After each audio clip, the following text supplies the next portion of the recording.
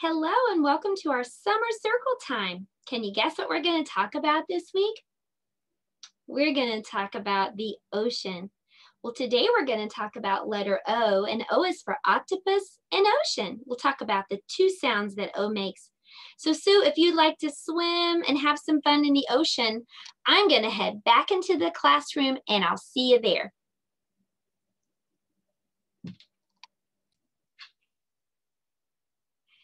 So while Sue has some fun swimming in the ocean, let's talk about the letter O. This is what letter O looks like.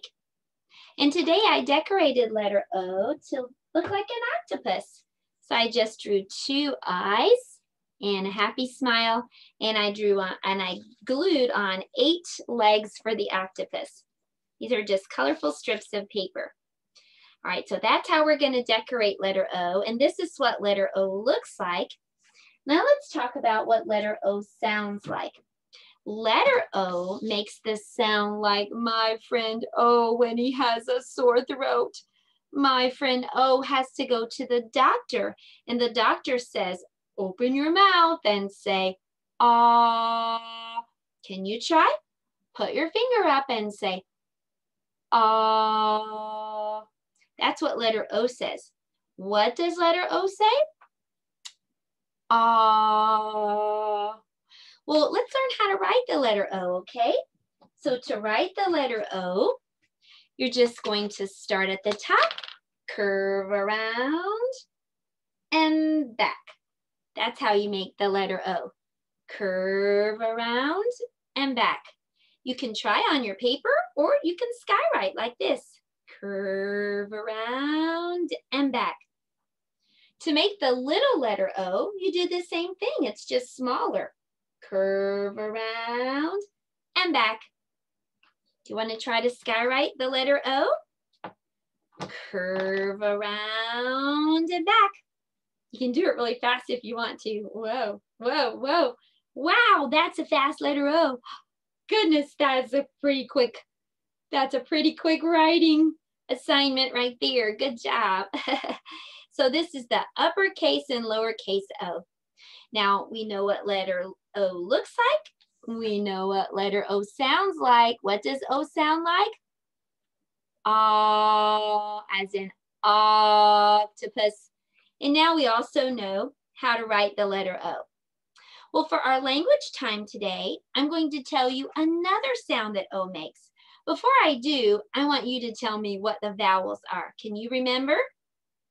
A, E, I, O, U, A, E, I, O, U, A, E, I, O, U. These are the vowels. Well, we said O. O is one of the vowels. So that means it has two sounds. All of the vowels have two sounds. All right, so the, the sound that O makes, the first sound we've already talked about, ah. But the second sound that O makes is its own name. So on the count of three, I want you to tell me what your name is. Just yell it out. One, two, three. What's your name? Let's do that again. On the count of three, yell out your name. One, two, three. What's your name? Miss Kathy. Let's do that one more time.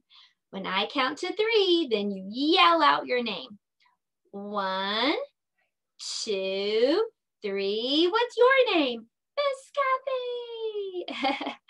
well, that's, do you know what O's name is? O's name is O. That was your name and O's name is O. So O can say its own name, O. And that's what we're going to talk about today for our language time. We're going to read some words with O. All right, so I'm gonna write the letter O here and I'm gonna put a line on the top. This line tells me that this O is gonna say O. Okay, so in the front of that, I'm gonna put a letter S. And letter S says like a snake. And we're gonna blend these two sounds together and read this word. O so, so, so. All right, now let's change this S and let's make it a G. And G says g, g, g, g, g.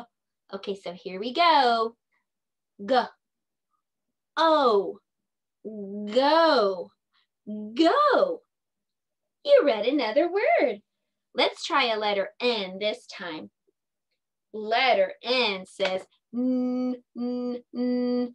Okay, so here we go. N, O. No. No.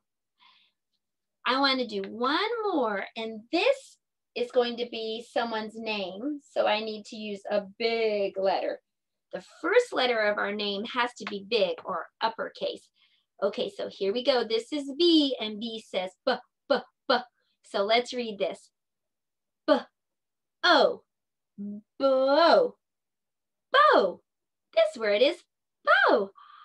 You did a great job. We learned that O has two sounds.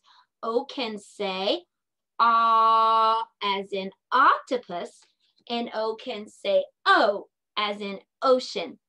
And that's what we're talking about today and all week, the ocean. Well, one of the creatures that lives in the ocean is a dolphin. So today for math, we're going to be doing a dolphin number line. And I'll put the link below in case you want to get a copy of this. But on my screen, I'm going to show you this number line. And of course, it has numbers on it.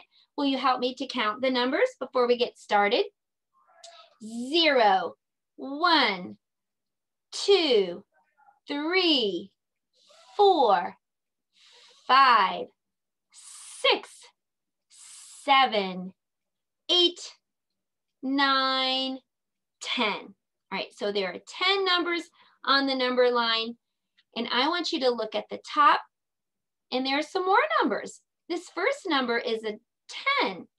So I'm gonna find number 10 on the number line. It's way down here. Okay, now let's take a look at the second number. That number is five. This symbol in the middle tells me I'm going to be subtracting or taking away five. So that means we're going to let the dolphin swim five spaces back. One, two, three, four, five. So now what number is the dolphin on? The dolphin is on number five. So 10 take away or minus five is five. So we're using a number line to do subtraction. All right, let's do the next one. What's the first number here at the top? That's the number six. What's the second number? Three. So let's start on the six and move three spaces this way. One, two, three. Now, what number is the dolphin on? Number three. So six minus three equals three. All right, let's do the next one. What number is first? Number four, so put the dolphin on number four. What's the second number? That's number two. So let's make the dolphin swim two spaces. One, two. Now what number is the dolphin on? He's on number two. So four minus two equals two. Let's do the next one. What's the first number? Five. So let's put the dolphin on number five. What's the second number? That's number two. So let's make the dolphin swim two spaces. One, two. Now what number is the dolphin on? Number three. So five minus two equals three. Subtraction can be super easy when you use a number line. And you did a great job, but we've been working hard on our letter and language and numbers. So now it's time to get up and move. Let's do music and movement. We're going to do a song and it's called Move Like Sea Animals. And so the first sea animal in the song is a hammerhead shark. When you hear hammerhead shark, I want you to do your head like this. Can you try? boom, boom, boom, like a hammerhead shark. Boom, boom, boom. Good job. The next one is a sea turtle. When you hear sea turtle, I want you to stand up and I want you to walk around on your tiptoes. It's gonna say tootie tot, tootie tot, tootie tot. The next one's gonna be a walrus, so I want you to clap your hands like a walrus. Can you try? Walrus. The next animal in the song is gonna be a lobster. So can you snap your fingers like this? Snap, snap, snap, like pinchers. Good, that's a lobster. Okay, the next one's gonna be an octopus. So you can just flail your arms around like an octopus. You wanna try? Octopus. All right, and the last one's gonna be a manta ray. When you hear manta ray, you can get up, bend down, and up, bend down like a manta ray. Okay, well, let's sing this song. We're gonna only do just a little bit of it because it's not my video, but I'll put the link below so that you can hear the whole thing.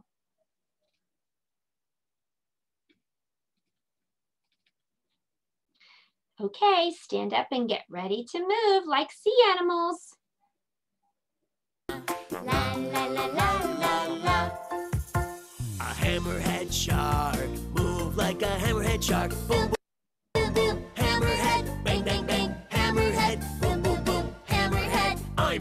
a hammerhead. A Sea sea turtle, turtle, tiptoes. sea turtle, move like a sea turtle. Tootie tot, tootie tot, tootie tot, tootie tot, tootie tot, tootie tot. I'm a sea turtle. A walrus. clap like a walrus. Move like a walrus. Kumbah hey, kum kum kum, kumbah hey, kum kum kum, kumbah hey, kum kum kum. I'm a walrus. Come on, come. Okay, so I'm gonna stop right there because this isn't my song. I'll put the link so you can quickly pull up the song and sing the rest of it for music and movement time. But now it's time for us to do art. So let's head over to the art table. For art today, we're gonna be making a whale and we're gonna be making it look like water is coming out of the spout on the top of its head. I'll put the link below so you can get this printable. Do you see the little hole right here? That's the whale spout. So I'm going to be using some blue paint and I added water to the blue paint to make it nice and watery and runny. And I'm, you're also gonna need a straw for this project. First, I'm gonna color the whale and I'm gonna use gray, but you could use any color you'd like to color your whale.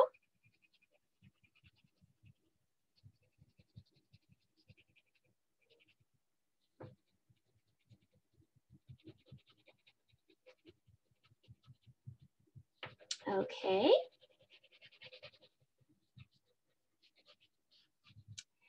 So I'm going to just drop some paint at the top, right above the spout.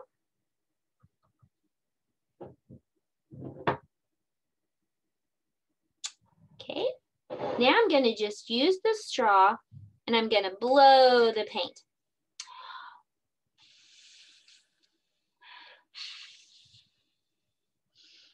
So that makes it look like the water is coming out of the spout. Let's do it one more time.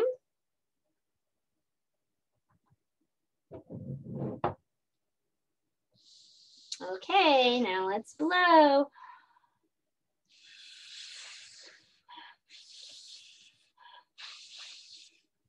So there you have it. That's our art for today.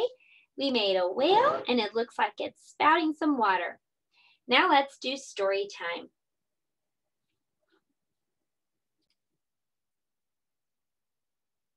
For story time today, we're going to be reading a fun story and you're going to get to see lots of creatures that live in the sea. I'm the biggest thing in the ocean by Kevin Sherry. I'm a giant squid and I'm big. I'm bigger than these shrimp. I'm bigger than these clams. I'm bigger than this crab. Ouch! I'm bigger than that jellyfish. I'm bigger than these turtles. I'm even bigger than this octopus. I'm bigger than that shark. Shh. I'm the biggest thing in the ocean. Chomp.